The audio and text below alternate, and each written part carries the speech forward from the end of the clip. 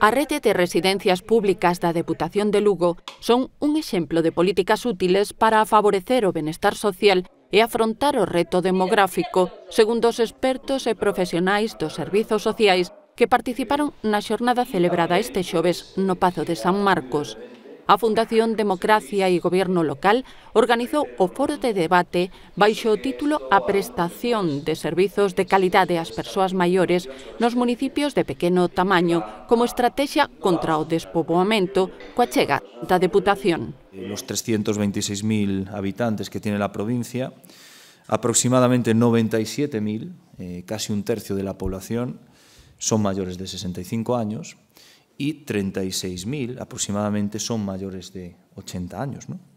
Esto creo que evidencia, de, bueno, sin un análisis más de fondo, donde creo que hai que poner verdaderamente el foco de las políticas en esta provincia. Unhas políticas que, segundo o panorama demográfico descrito, consideran prioritaria a atención á terceira idade e que a Deputación de Lugo asume malia non ter competencias.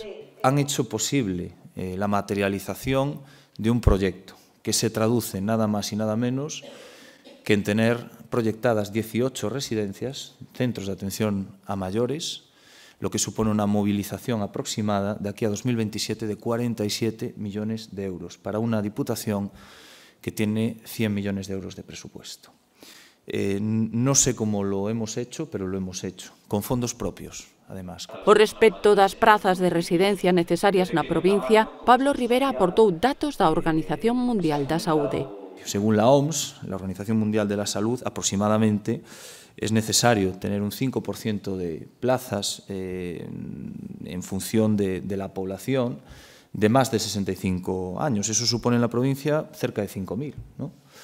Y la Xunta de Galicia, que es la administración que tiene competencias en el tema, presume de tener 400 públicas en Lugo y 1.000 más plazas en residencias concertadas.